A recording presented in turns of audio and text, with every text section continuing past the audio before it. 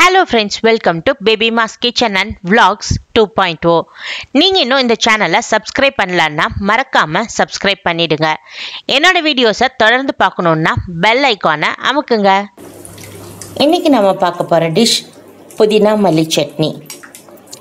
ரொம்ப குயிக்காக டேஸ்ட்டாக செய்யக்கூடிய இந்த டிஷ்ஷை எப்படி செய்கிறதுன்னு பார்க்கலாம். வாங்க செய்யலாம்.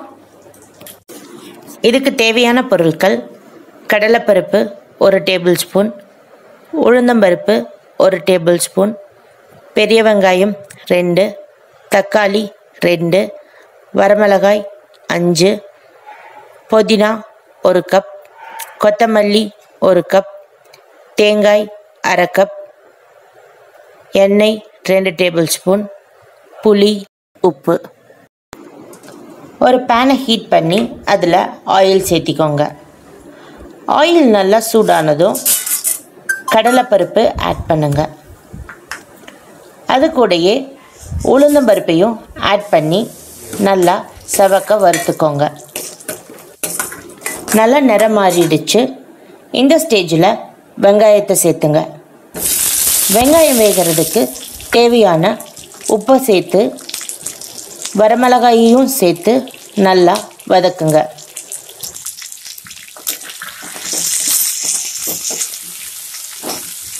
வெங்காயம் ஓரளவுக்கு வெந்திருக்குது. இந்த ஸ்டேஜில் தக்காளியை சேர்த்து அது கூட கொஞ்சமாக புளியையும் சேர்த்து நல்லா வதக்கி விடுங்க.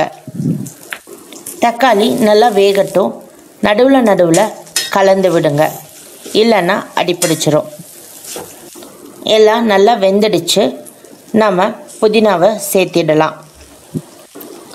கொத்தமல்லியையும் ஆட் பண்ணி சட்னிக்கு தேவையான உப்பையும் சேர்த்து நல்லா கலந்து விடுங்க.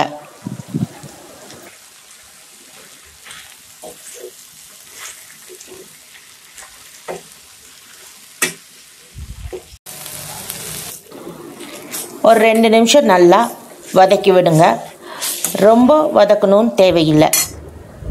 இந்த ஸ்டேஜில் அரை கப் தேங்காய் சேர்த்து ஒரு நிமிஷம் நல்லா வதக்கி விடுங்க. ஸ்டவ் ஆஃப் பண்ணி நல்லா ஆற வைங்க. நல்லா ஆறிடுச்சு. இப்போது மிக்சிக்கு ட்ரான்ஸ்ஃபர் பண்ணி கொஞ்சமாக தண்ணி சேர்த்து அரைச்செடுத்துக்கோங்க நல்ல டேஸ்டான புதினா மல்லி சட்னி ரெடி நான் இதை சூடான தோசை கூட வச்சு சாப்பிட போகிறேன் நீங்களும் இதை ட்ரை பண்ணிவிட்டு கமெண்ட்டில் சொல்லுங்கள் இந்த வீடியோ உங்களுக்கு பிடிச்சிருந்தா like share and subscribe to baby mass kitchen and vlogs two point O தொடர்ந்து என்னோட வீடியோஸ் எல்லாம் பார்க்கணுன்னா பெல் ஐக்கானை அமுக்குங்க. தேங்க்யூ